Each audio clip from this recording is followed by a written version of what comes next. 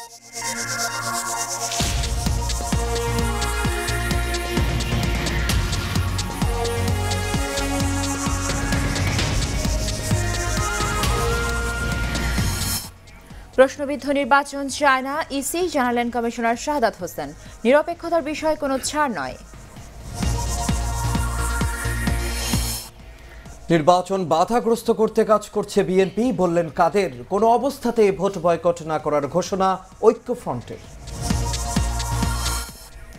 এবং কাল থেকে শুরু প্রাথমিক ও ইফতেদারী শিক্ষা সমাপনী পরীক্ষা। অংশ নেবে প্রায় একত্রিশ লাখ শিক্ষার্থী। প্রশ্ন ফাঁস রোধে কঠোর ব্যবস্থা।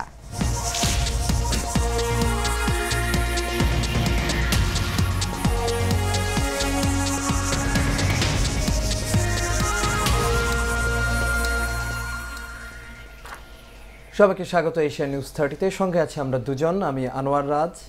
এবং একই সাথে আমি সুবর্ণা গোলন্দাজ। শুনছিলেন স্ট্যান্ডার্ড ব্যাংক লিমিটেড সংবাদ শিরোনাম, এবারে বিস্তারিত।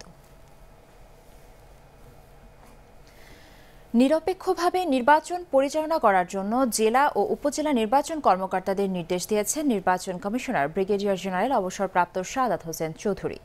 সকালে আগারগাঁওয়ে নির্বাচন কমিশনের কার্যালয়ে জেলা ও উপজেলা নির্বাচন কর্মকর্তাদের প্রশিক্ষণ অনুষ্ঠানের উদ্বোধনী অনুষ্ঠানে এ কথা বলেন তিনি। তিনি আরও বলেন এই নির্বাচনকে অবাধ ও সুষ্ঠু করতে কমিশন বদ্ধপরিকর। নির্বাচনকালীন সময়ে দায়িত্বরত কর্মকর্তারা কারও পক্ষপাতিত্ব করলে তাদের বিরুদ্ধে কঠোর ব্যবস্থারও হুঁশিয়ারি দেন তিনি। অনুষ্ঠানে নির্বাচন প্রশিক্ষণ ইনস্টিটিউটের মহাপরিচালক মোস্তফা ফারুক ও জেলা উপজেলা নির্বাচনী কর্মকর্তা সহ অন্যান্যরা উপস্থিত ছিলেন। একটা অবাধ, সুষ্ঠু, নিরপেক্ষ এবং সকলের গ্রহণযোগ্য জাতীয় সংসদ নির্বাচনের জন্য যা যা করার প্রয়োজন বর্তমান নির্বাচন কমিশন সেটা করতে বদ্ধপরিকর।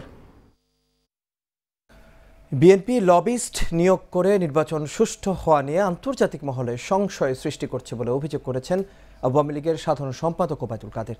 সকালে রাজধানীতে এক অনুষ্ঠানে যোগ দিয়ে এসব কথা বলেন তিনি, আর অন্য এক অনুষ্ঠানে চোদ্দ দলের মুখপাত্র মোহাম্মদ নাসিম অভিযোগ করে বলেন, সাম্প্রদায়িক শক্তির কাছে বিক্রি হয়ে গেছেন ডক্টর কামাল হোসেনরা। আরও জানাচ্ছেন লিটন মাহমুদ। রাজধানীর গুলশানে চীন সরকারের মালিকানাধীন প্রতিষ্ঠান সিটি গ্রুপের বিনিয়োগ বিষয়ক এক পরিচিতি সভায় প্রধান অতিথি ছিলেন আওয়ামী লীগ সাধারণ সম্পাদক ও সেতুমন্ত্রী ওবাদুল কাদের। অনুষ্ঠান শেষে সাংবাদিকদের বিভিন্ন প্রশ্নের জবাব দেন আওয়ামী লীগ সাধারণ সম্পাদক। আন্তর্জাতিক মহলে নির্বাচন সুষ্ঠু হওয়া নিয়ে সংশয় প্রকাশের সমালোচনার জবাব দেন তিনি। অনেকজন বসলে একজন দুজন সন্দেহ তো করতেও পারে। এবং সেটা লবিং এর কারণেও হতে পারে। এখন তো বিএনপি তো প্রচুর টাকা পয়সা দিয়ে লবিং করাচ্ছে। কাজে এরকম একটা দুটা প্রশ্ন তোলা এইসব ককাসে উঠতেই পারে। এটা কোনো বিষয় না। লেভেল প্লেয়িং ফিল্ড নিয়ে বিএনপি নেতাদের অভিযোগের বিষয়েও কথা বলেন ওবায়দুল কাদের। এখনও নমিনেশন পর্বই শেষ হয়নি। এই মুহূর্তে লেভেল প্লেইং ফিল্ড কেন অনিশ্চিত? সেটা তো আমি জানি না। তবে এটা নিশ্চিত করবে ইলেকশন কমিশন এদিকে রাজধানীর বঙ্গবন্ধু অ্যাভিনিউয়ে আওয়ামী লীগ কার্যালয়ে চোদ্দ দলের সভা শেষে সাংবাদিকদের ব্রিফ করেন জোটের মুখপাত্র মোহাম্মদ নাসিম। বলেন বিজয়ের মাসে হেরে যাবার ভয়ে ঐক্যফ্রন্ট নির্বাচন পেছানোর দাবি করছে। সাহেবের এত মানে মানে অধোগতি হচ্ছে বেশি আশ্চর্য হয়ে যায়।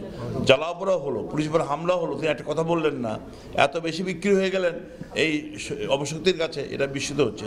দুঃখজনক এক নম্বর। দ্বিতীয় হচ্ছে যারা দেশে যারা এখনও ঠিক করতে পারেনি তাদের দল নেতা কে হবে? কে প্রধানমন্ত্রী হবে? তাদের দ্বারা কি জনগণ আশা করতে পারে বলেন। শিগগিরই শরিকদের সাথে আসন ভাগাভাগি চূড়ান্ত হবে বলেও জানান আওয়ামী লীগ নেতারা। মানুষ প্রথমে আপনি যে সিদ্ধান্ত নেবেন আমরা তবে মেনে নেব এবং অন্য কেউ যদি আসতে চায় এটা তার তার সেই সিদ্ধান্ত নেবে। Liton Mahmud Asian Television Dhaka. কোনো অবস্থাতেই নির্বাচন বয়কট করবে না জাতীয় ঐক্যফ্রন্ট। বিকেলে সুপ্রিম কোর্ট বার মিলনায়তনে আইনজীবী ঐক্যফ্রন্টের মহাসমাবেশে এসব কথা বলেন জাতীয় ঐক্যফ্রন্টের প্রধান ডক্টর কামার হোসেন। এ সময় তিনি আবারও বিএনপি চেয়ারপারসন খালেদা জিয়ার মুক্তির দাবি জানান। সংলাপে নেতাকর্মীদের গ্রেফতার বন্ধের প্রতিশ্রুতি দিলেও তা বন্ধ করা হয়নি বলে অভিযোগ করেন ডক্টর কামাল।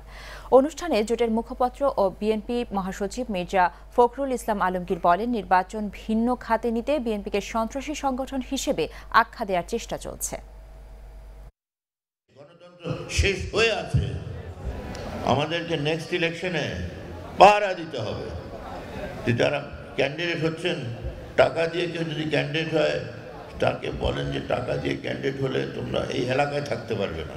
দু কোটি নতুন ভোটাররা এই দেশের মালিক হিসাবে নিজেকে পরিণত করেন, যে জালিয়াতি ভোট করে তারা যেন হয়ে যেতে পারে। আমরা এই দেশের মালিক তাদেরকে হিসাবে পরিচয় দিতে দেওয়া অন্যায় হবে, শহীদদের সঙ্গে বেইমানি হবে। দর্শক, একাদশ সংসদ নির্বাচন নিয়ে বিস্তারিত আলোচনা থাকছে রাত দশটা পঁচিশ মিনিটের নিটল টাটা টেবিল টকে। যাচ্ছি পরের খবরে। কাল থেকে সারা দেশে এক যোগে প্রাথমিক ও ইবতেদায়ী শিক্ষা সমাপনী পরীক্ষা শুরু হবে। প্রতিদিন সকাল সাড়ে দশটা থেকে দুপুর একটা পর্যন্ত চলবে এই পরীক্ষা। ছাব্বিশ নভেম্বর পর্যন্ত একশো নম্বরের মোট ছটি বিষয়ের পরীক্ষা হবে। এবার পরীক্ষা অংশ নেবে ত্রিশ লাখ পঁচানব্বই হাজার একশো তেইশ শিক্ষার্থী। সারা দেশে মোট সাত হাজার চারশো দশটি কেন্দ্রে এই পরীক্ষা অনুষ্ঠিত হবে। এছাড়া বিদেশে অবস্থিত বারোটি কেন্দ্রেও পরীক্ষা নেওয়া হবে। প্রশ্ন ফাঁস রোধে এবারও থাকছে বিশেষ ব্যবস্থা। এবছর পরীক্ষা থেকে বহু নির্বাচনের প্রশ্ন বাদ দেওয়া হয়েছে। আগামী জাতীয় সংসদ নির্বাচন উপলক্ষে বিএনপি জামাতের যে কোনো নাশকতা চেষ্টার বিরুদ্ধে বঙ্গবন্ধু সৈনিক লীগের প্রতিটি নেতাকর্মীকে ঐক্যবদ্ধ থাকার আহ্বান জানিয়েছেন বঙ্গবন্ধু সৈনিক লীগের সভাপতি এশিয়ান টেলিভিশন ও এশিয়ান গ্রুপের চেয়ারম্যান আলহাজ হারুনুর রশিদ, সিআইপি। বিকেলে রাজধানীর যাত্রাবাড়িতে জাতীয় সংসদ নির্বাচনকে সামনে রেখে আয়োজিত আলোচনা সভায় প্রধান অতিথির বক্তব্যে এসব কথা বলেন তিনি। বাংলাদেশের উন্নয়নের ধারাকে অব্যাহত রাখতে আগামী নির্বাচনে আওয়ামী লীগকে আবারও ক্ষমতায় আনতে সবাইকে ঐক্যবদ্ধ হয়ে কাজ করার আহ্বান জানান আলহাজ হারুন রশিদ, সিআইপি। বিগত দিনে ডেমরা যাত্রাবাড়ির মানুষের পাশে যেভাবে ছিলেন, আগামী দিনেও এলাকার মানুষের পাশে থেকে কাজ করার আশা ব্যক্ত করেন বঙ্গবন্ধু সৈনিক লীগের সভাপতি। এ সময় তিনি বলেন, প্রধানমন্ত্রী শেখ হাসিনা ঢাকা চার অথবা পাঁচ যে কোনো একটি সংসদীয় আসন থেকে মনোনয়ন দিলে উক্ত আসনটি প্রধানমন্ত্রীকে উপহার দিতে পারবেন তিনি। একটি কথা বলতে চাই, আগামী নির্বাচন আসতেছে। এই নির্বাচনে কোন রকম যে ভুল না হয় যে আমরা এই নৌকা মার্কাকে যেই নৌকা নেওয়া আসুক, তাকে আমরা ভোট দেব। আমিও ঢাকা চারপাশের ক্যান্ডিডেট যদি আমাকে মাননীয় প্রধানমন্ত্রী যোগ্য মনে করে, আমার যদি কপালে থাকে, তাহলে আমি পাবো। আর আমি যদি না পাই যে পাও তার নির্বাচন আমি করব। সেন্টার সংবাদ বিরতি। ফিরে এসে অন্যান্য খবরের সঙ্গে আরও যা থাকছে। সাকিবকে অধিনায়ক করে ওয়েস্ট ইন্ডিজের বিপক্ষে চট্টগ্রাম টেস্টের দল ঘোষণা, বাদ পড়লেন লিটন, শান্ত, অপু। ফিরেছেন সৌম্য নাইম।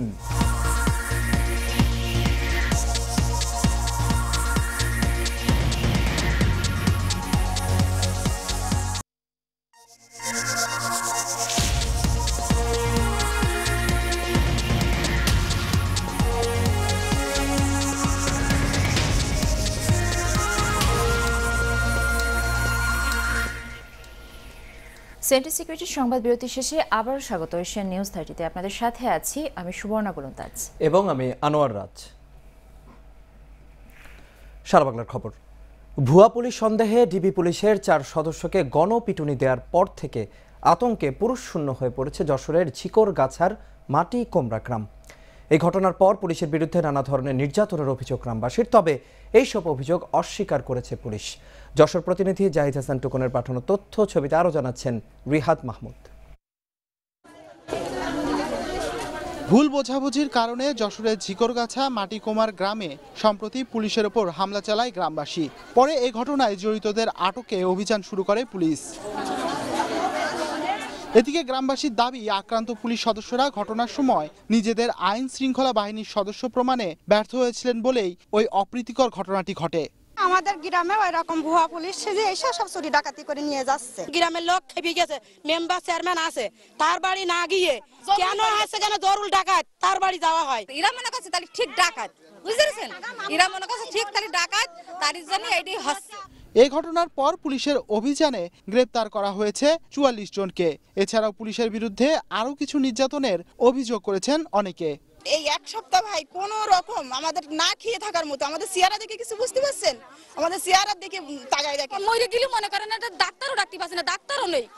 গ্রামে ডাক্তারও নেই আমাদের। এসব অভিযোগ অস্বীকার করে পুলিশ বলছে এরকম কিছু ঘটে থাকলে দোষীদের বিরুদ্ধে ব্যবস্থা নেওয়া হবে। আমাদের কোনো পুলিশ সদস্য আপনার মানে এরকম কোনো অপ্রীতিকর কোনো ঘটনা ঘটে- ঘটিয়ে থাকে তাদের বিরুদ্ধে অবশ্যই আমরা আইনানুগ ব্যবস্থা গ্রহণ করব। আপনারা জানেন যে এই ঘটনায় যদি আমাদের অনেকের হয়তো অভিযোগও তুলেছে যে আমাদের পুলিশের এখানে ত্রুটি থাকতে পারে। সেজন্য আমরা একটা তদন্ত কমিটি গঠন করেছি গ্রামবাসীর ওই ঘটনায় পুলিশ সদস্য মুরাদ হোসেন শিমুল হোসেন মামুন আলী ও তাদের গাড়ি চালক আহত হয়েছিলেন। Rihad Mahmud Asian Television.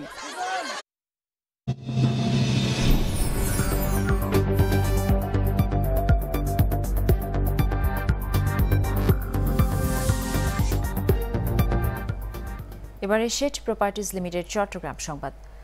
আসন্ন সংসদ নির্বাচনকে সামনে রেখে রাজনৈতিক দলগুলোর প্রতি বেশ কিছু সুপারিশমালা পেশ করেছে দেশের বিভিন্ন পরিবেশবাদী সংগঠনের সমন্বয়ে গঠিত পরিবেশ জোট গ্রিন অ্যালায়েন্স। দুপুরে চট্টগ্রাম প্রেস ক্লাব মিলনায়তনে আয়োজিত এক সংবাদ সম্মেলনে এসব সুপারিশমালার ঘোষণা করা হয়। এ সময় তিন ফসলি জমিতে কোনো প্রকার প্রকল্প না করা, উন্নয়ন বাজেটে পরিবেশ রক্ষা প্রকল্পের বরাদ্দ বাড়ানো, নদী ও উপকূল রক্ষায় আলাদা নদী ও উপকূলীয় মন্ত্রণালয় গঠন সবুজ ব্যাংকিং ও পরিবেশ বান্ধব বিনিয়োগ বাড়ানো সহ বেশ কয়েকটি সুপারিশমালা পেশ করা হয়।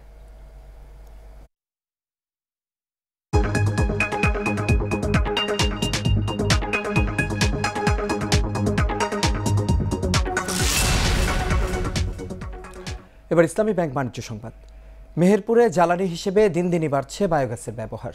কাঠের ওপর নির্ভরতা কমাতে জেলার বিভিন্ন স্থানে গরুর গোবর ও মুরগির বিষ্ঠা দিয়ে তৈরি হচ্ছে বায়োগ্যাস প্লান্ট। মেহেরপুর প্রতিনিধি জাহিদুর রহমানের পাঠানো তথ্য ছবিতে আরও জানাচ্ছেন রাশেদ আকন।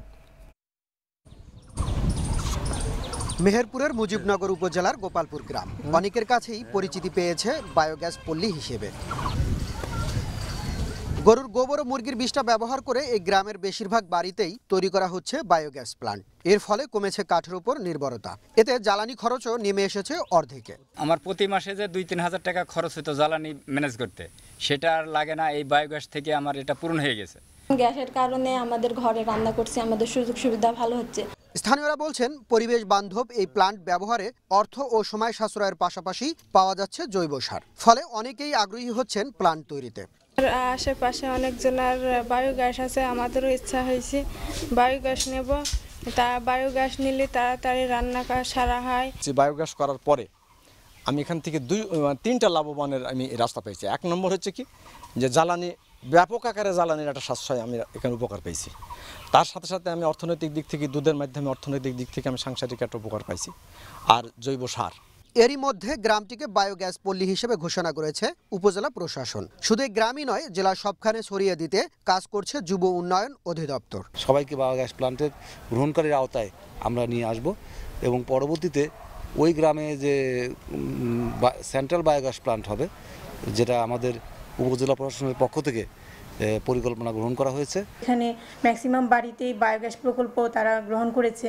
সেজন্য আমরা এটিকে বায়োগ্যাস পল্লী হিসেবে ঘোষণা করলাম যাতে আমরা পুরো গ্রামটিতে একশো ভাগ বাড়িতে বায়োগ্যাস প্রকল্পে আওতায় আনতে পারি এবং সরকারের সহযোগিতা পেলে আমরা এখান থেকে ভবিষ্যতে বিদ্যুৎ সরবরাহের একটা চিন্তাভাবনা আছে। বায়োগ্যাস প্লান্ট আরও বাড়াতে সহজে ঋণ সুবিধার দাবি স্থানীয়দের।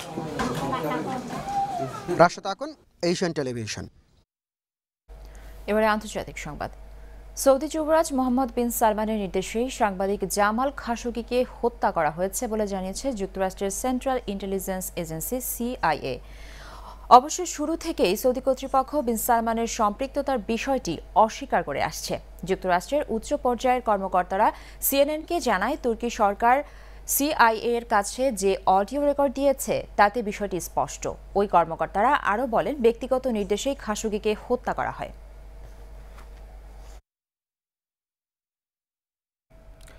এবার খেলার খবরে Bangladesh West Indies test series প্রসঙ্গ। ইঞ্জুরি কাটিয়ে ওয়েস্ট ইন্ডিজের বিপক্ষে চট্টগ্রাম টেস্টে মাঠে ফিরতে যাচ্ছেন সাকিব আল হাসান। আজ সাকিবকে অধিনায়ক করে ওয়েস্ট ইন্ডিজের বিপক্ষে টেস্টের জন্য তেরো সদস্যের দল ঘোষণা করেছে বাংলাদেশ ক্রিকেট বোর্ড, বিসিবি। এছাড়া দলে ডাক পেয়েছেন ওপেনার সৌম্য সরকার আর অফ স্পিনার নাইম হাসান। দল থেকে বাদ পড়েছেন opener Liton Das, batsman Najmul Shanto, spinner Najmul Apu. দলের বাকি সদস্যরা হলেন ইমরুল কায়েস, মুশফিকুর রহিম মাহমুদুল্লাহ রিয়াদ, মোহাম্মদ মিঠুন, মুমিনুল হক, আরিফুল হক, তাইজুল ইসলাম, মেহেদি বিরাজ, মুস্তাফিজুর রহমান ও Syed Khaled Ahmed. BCBL inter sports টুর্নামেন্টের ফ্যামিলি ডে ও পুরস্কার বিতরণী অনুষ্ঠিত হয়েছে। রাজধানীর উত্তরা ব্যাংকার্স ক্লাবে এ অনুষ্ঠানে উপস্থিত ছিলেন এনআরবি ব্যাংক লিমিটেডের ব্যবস্থাপনা পরিচালক মোহাম্মদ মেহমুদ হোসেন।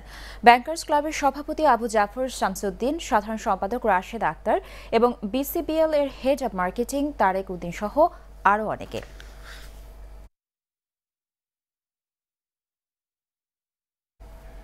শেষ করব এশিয়ান নিউজ থার্টি তার আগে স্ট্যান্ডার্ড ব্যাংক লিমিটেড শিরোনামগুলো জানিয়ে দেব আরও একবার।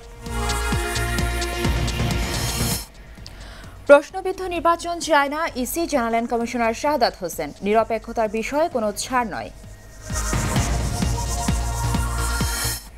নির্বাচন বাধাগ্রস্ত করতে কাজ করছে বিএনপি বললেন কাদের? কোনো অবস্থাতেই ভোট বয়কট না করার ঘোষণা ঐক্যফ্রন্টের এবং কাল থেকে শুরু প্রাথমিক ও ইবতেদায়ী শিক্ষা সমাপনী পরীক্ষা অংশ নেবে প্রায় একত্রিশ লাখ শিক্ষার্থী। প্রশ্ন ফাঁস রোধে কঠোর ব্যবস্থা। এশিয়ান নিউজ থার্টি এ পর্যন্তই। রাত দশটা পঁচিশ মিনিটে রয়েছে নিটল টাটা টেবিল টক। দেখার আমন্ত্রণ রইল। এতক্ষণ সাথে থাকার জন্য ধন্যবাদ সবাইকে। শুভরাত্রি। শুভরাত্রি।